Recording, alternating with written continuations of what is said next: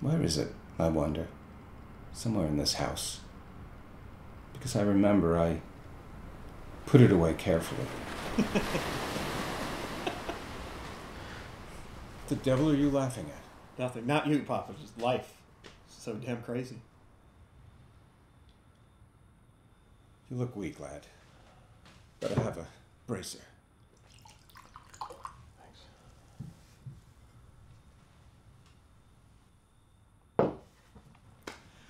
Pete's sake, if we're gonna play cards, let's play cards. She's still moving around up there. God knows when she'll go to bed. Christ's sake, Papa, just leave it alone.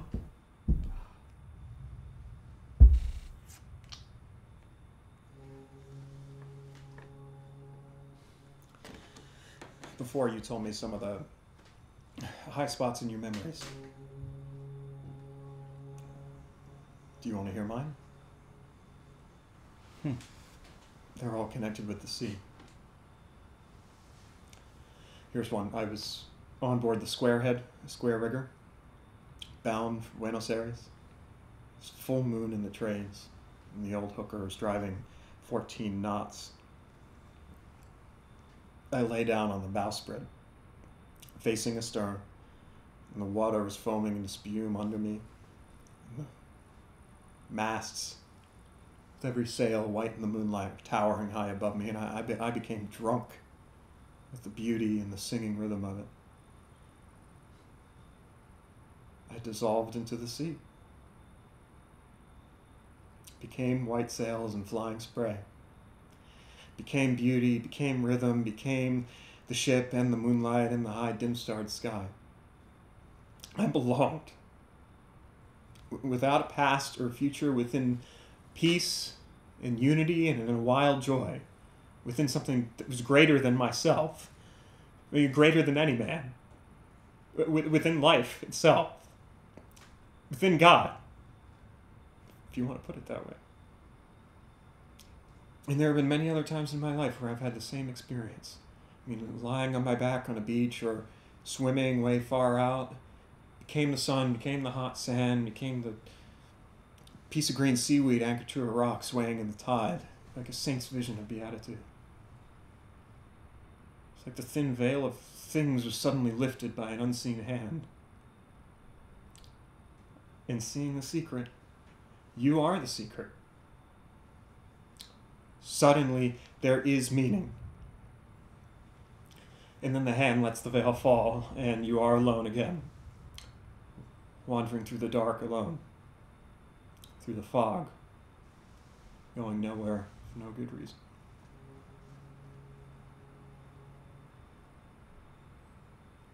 It was a great mistake my being born a man. I would have been much more successful as a seagull or a fish. As it is, I am a stranger. Will never feel at home. It doesn't really want. And is not really wanted. Who will always be alone. And who will always be a little in love with death. Yes. There are the makings of a poet in you, all right. The Makings of a poet. No, I'm more like the guy who's always panhandling for a smoke. Hasn't even got the makings, he's got only the habit. There's the absent brother. I bet he's got a peach of a bun on. A loafer. Caught the last car, bad luck to him. Get into bed. I'm going out on the porch. He has the tongue of an adder when he's drunk.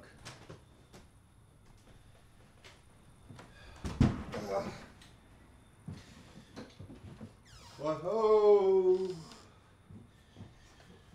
What ho? Nix on the loud noise. Oh. Hello, kid. Oh. You're drunk as a fiddler's bitch. Oh, shit. Thanks for telling us your great secret. Yeah. Unnecessary piece of information number one, huh? Oh man, I had a terrible accident. Oh. Run Steph tried to trample on me. Take advantage of the fog, the wave. You ought to be a lighthouse out there, you know? It's dark in here, too. Where's the old Gaspard? Out on the porch. Can't expect us to live in the black hole of Calcutta.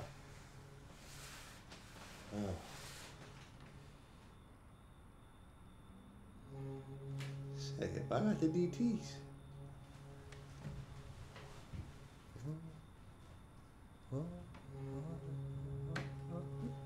Oh my God, it's real. What's the matter with the old man tonight? Must be ossified if he forgot this left. If he forgot he left this out. Oh. Grab opportunity by the forelock. Keep my success. You're stinking now, that'll knock you stiff. ah, can it with the wash stuff, kid. Still wet behind the ears.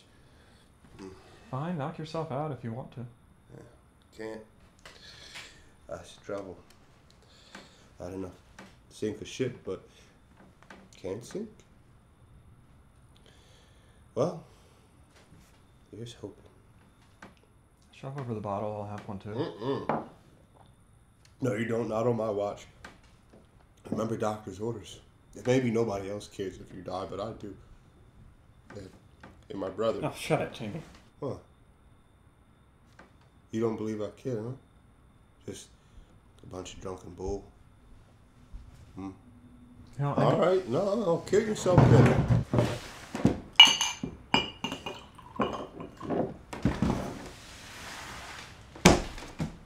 I know you care, Jamie, but. And I'm gonna get off the wagon, but not tonight, okay? Too many damn things have happened today. Here's how. I know, kid. It's been a lousy day for you, huh? I bet the old Gaspard hasn't tried keeping you off booze. He'll probably give you a case to take with you up to the state farm for pauper patients. The sooner you kick the bucket, the less expense. Christ, you could put him in a book and no one would believe you. Papa's alright.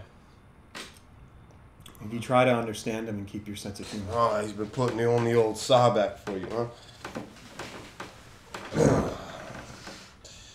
Maybe he could get you with that, but not me. Not again. Mm-mm.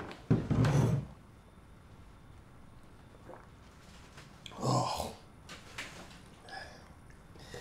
You tell Gaspard that I got it out of Doc Carter. This sanatorium's a charity dump.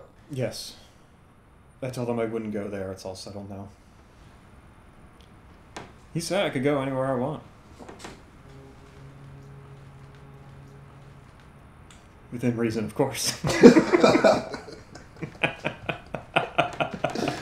Of course not. Anything within reason.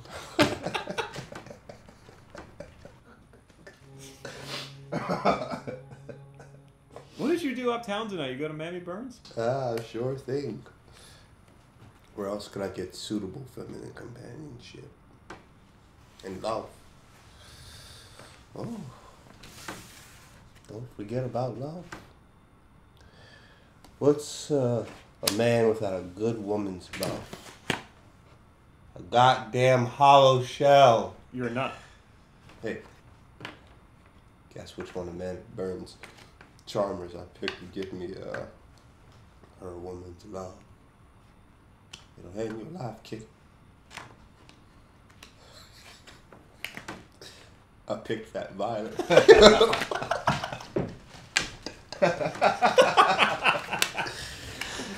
Oh, poor Vi. Poor violet.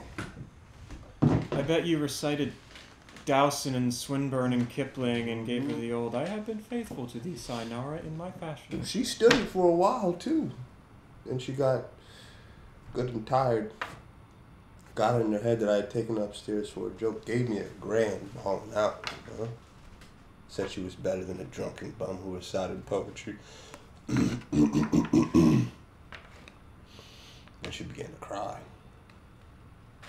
So I had to tell her I loved her because she was fat. and she wanted to believe that. and uh, stayed with her to prove it. I cheered her up. And she kissed me when I left and said she had fallen for me hard and we both cried a little bit more in the hallway and then you know everything was fine except you know Mamie Burns thought I had gone buckhouse. Harlots and hunted have pleasures of their own to give. The vulgar herd will never understand. exactly. Hell of a good time like that. You should have stuck around with me, kid. Had a good time, man. Mamie Burns inquired after you. Sorry to hear you were sick. She meant it too.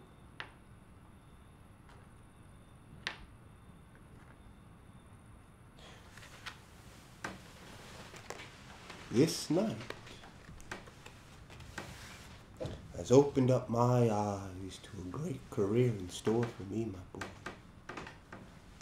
I shall give the art of acting back to the performing seals, and by applying my natural, God given talents in their proper sphere, I shall achieve the pinnacle of success. I will be the lover of the fat woman in the Barnum and Bailey circuit.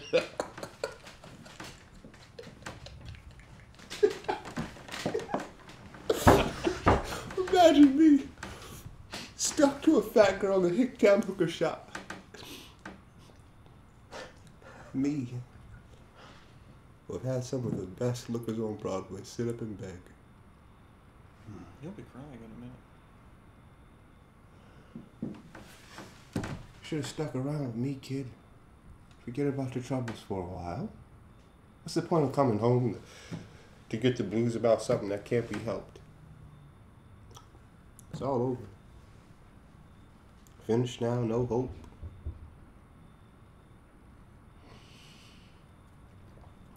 If I were hanged on the highest hill, mother oh mine, oh, mother oh mine, I know whose love would follow me still. Shut up.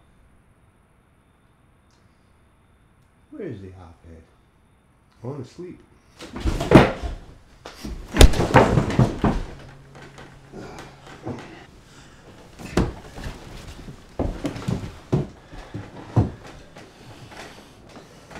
Thanks, kid. I uh certainly had that coming.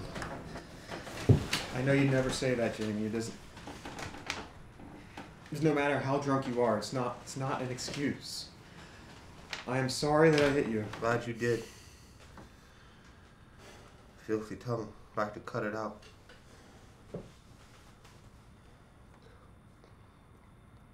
I suppose because I just feel so damn sunk.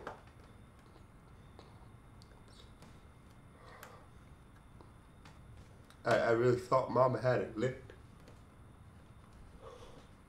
I, I, I know she thinks I believe the worst, but this time I believe the best. I guess I can't forgive her yet. I had begun to hope that if she had beaten the game, I could too. I know how you feel? I've known Mama so much longer than you. Never forget the first time I got wise. Caught her in the act with a hypo. Christ. I'd never believed any women but whores took dope before that. And then this this stuff where you getting consumption. It's just got me licked. We've been more than brothers. You're the only real pal I've ever had. I love your guts, kid. I'd do anything for you. Didn't think. I know that, Jamie. Look, I, I gotta tell you something. Yeah? Something that I'd have told you a long time ago. I'm gonna warn you, warn you against me. Mom and Papa were right. I've been a rotten bad influence on you, and, and the worst part of it is I did it on purpose. Shut up. I don't Next kid, you listen, you listen. I did it on purpose to make a bum of you. At least a part of me did a, a big part. The part that's been dead inside for so long. That hates life. Putting you wise to my mistakes so you'd learn the real world. Made my mistakes look good, made drinking, getting drunk romantic, made whores fascinating vampires instead of the poor diseased slobs they really are. Made fun of work as a sucker's game.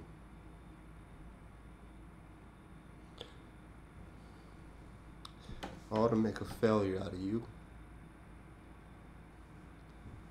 Didn't want you to succeed, making you look worse by comparison.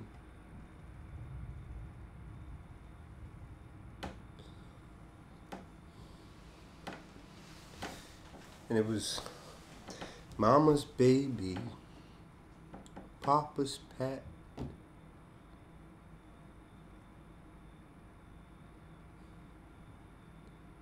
And it was your being born that started Mama on dope. And I, I know you can't help it, but but all the same, God damn you, I, I can't help but hate your guts. Jesus, Jamie, stop. And, but don't get it twisted. Don't get me wrong. I, I, I love you more than I hate you, kid. And this, uh, me telling you all this approves it. What I wanted to say is, um, I hope you become the biggest success in the world. But watch your back, be on your guard. Because I'll do my damnedest to make sure you fail. I can't help it. I hate myself. I gotta get my revenge on everybody else, especially you.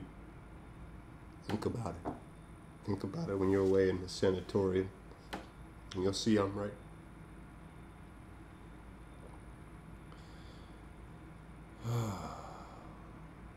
when you come back, keep a lookout for me. Cause I'll be there to greet you with my old pal stuff.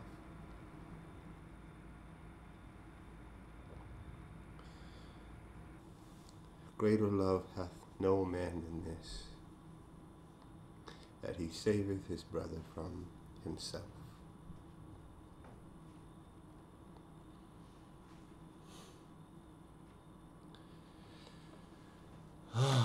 That's all. Uh, feel better. Going to confession. Uh, go get well. Mm. Don't die on me. God bless you, kid.